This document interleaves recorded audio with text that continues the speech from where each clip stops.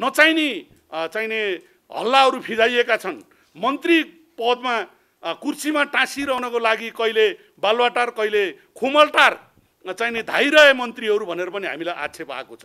खालि हामी मन्त्रीहरूको भनाइ के हो भन्दा यो लोकतान्त्रिक पद्धतिमा हामीले बजेट पा पेस गरिसकेपछि बजेटको चाहिने माननीयहरूले सोध्ने प्रश्नको उत्तर पनि हामीले दिन पाऊँ भन्ने मात्रै हाम्रो कुरा हो।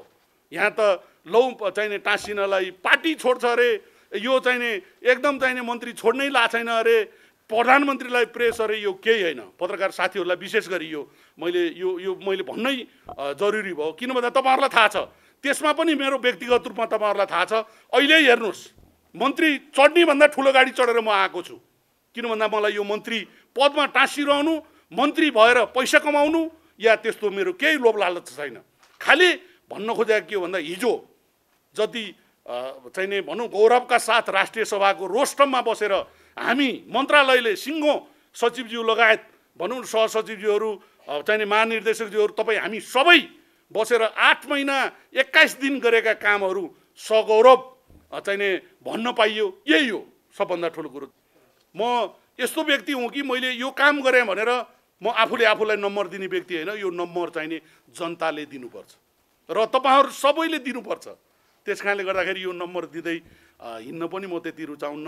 हिजो मलाई म राष्ट्रिय सभाबाट निस्कि निस्कँदै गर्दा मन्त्रीज्यूले नि पत्रकार सम्मेलन गर्ने होला राजीनामा दिने होला भनेर सोध्नु भएको थियो तपाईँहरूले पनि बुझ्नु हेर्नु भएको थियो। किन भन्दाखेरि यो पत्रकार सम्मेलन गर्नुपर्ने राजीनामा दिनुपर्ने त्यस्तो अपराध किसान श्रेष्ठले गरेका छैन। त्यस कारणले यो राजीनामा दिने पत्रकार फेरि अन्यथा पत्रकार साथीहरूलाई फेरि मैले उ गर्न खोजेँ होइन फेरि यो पत्रकार सम्मेलन किन नगरे यो भन्न खोजेको मैले के हो भन्दाखेरि यो नियमित प्रक्रिया हो। मलाई मन्त्री बनाउन नेपाल कम्युनिस्ट पार्टी एकीकृत समाजवादीले चाहिने सिफारिस गरेर पठाएको हो। अनि त्यही पार्टीको सिफारिसमा सम्माननीय प्रधानमन्त्रीज्यूले हिजो राति पुनर्गठन गरेपछि स्वत चाहिने निवर्तमान भइसकेँ म। भनेपछि यो कुरो अब यो स्वत हुने कुरोलाई यसलाई चाहिने उछालेर पत्रकार सम्मेलन गरेर भनौँ न यो भनिरहन जरुरी मैले सम्झिनँ।